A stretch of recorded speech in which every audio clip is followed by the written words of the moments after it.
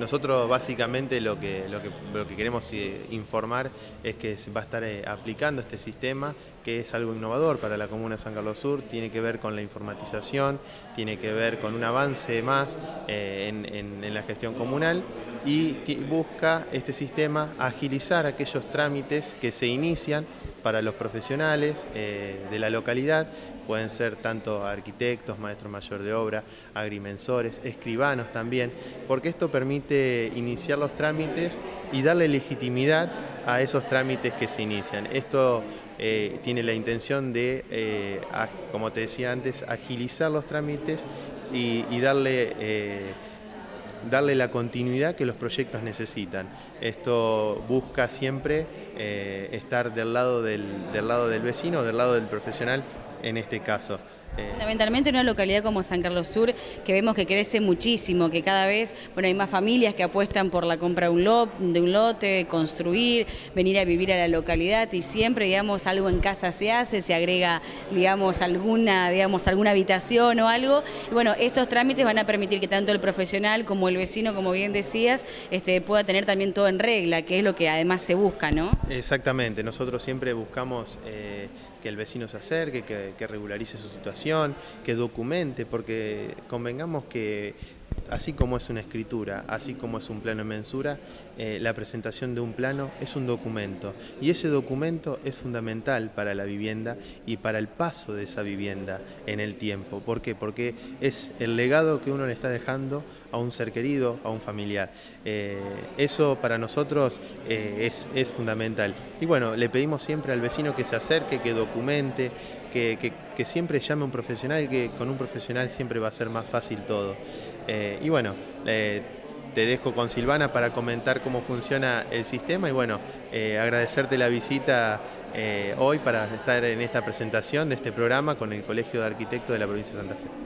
Bueno, Silvana, queremos saber un poquito cómo va a funcionar esto. ¿El trámite lo va a hacer el profesional o lo puede hacer el vecino, digamos, en la comodidad de su casa? ¿O el vecino podrá consultar, pero la validez del trámite la va a tener que hacer el profesional?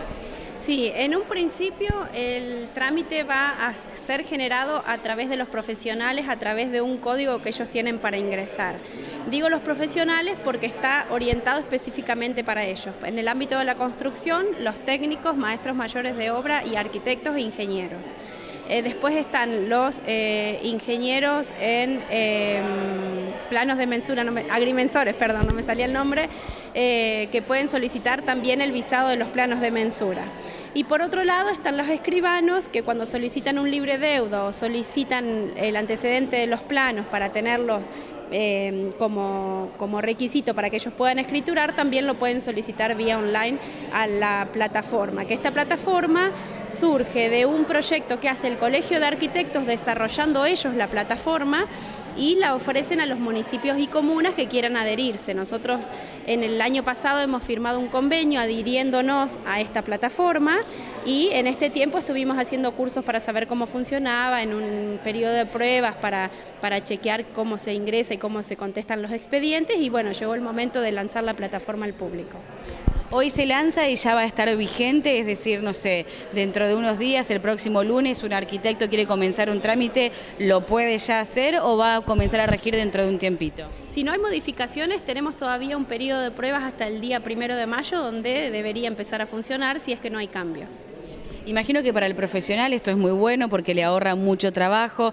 Eh, la mayoría de los profesionales tienen varias obras o tienen varios, digamos, clientes, entonces a veces hacer uno por uno, eh, bueno, obviamente llevaba más tiempo, más trabajo, esto va a facilitar un poco la cuestión. Sí, lo que va a facilitar la cuestión también es que los profesionales ya están acostumbrados, por ejemplo, los arquitectos, a mandar sus proyectos y sus planos y sus trámites al Colegio de Arquitectos vía online, con lo cual el mismo trámite que hacen al colegio se vincula a través de esta plataforma y los planos pasan directamente de la página del colegio a la plataforma que va a tener habilitada la comuna para poder ver los planos y no tienen que venirse a la comuna con el plano formato papel a presentar el expediente. Eh, ¿Los costos de estos trámites son los mismos, digamos, no se modifican? No, no se modifican porque se pagan los sellados correspondientes según la tributaria de este año, así que los montos siguen siendo los mismos.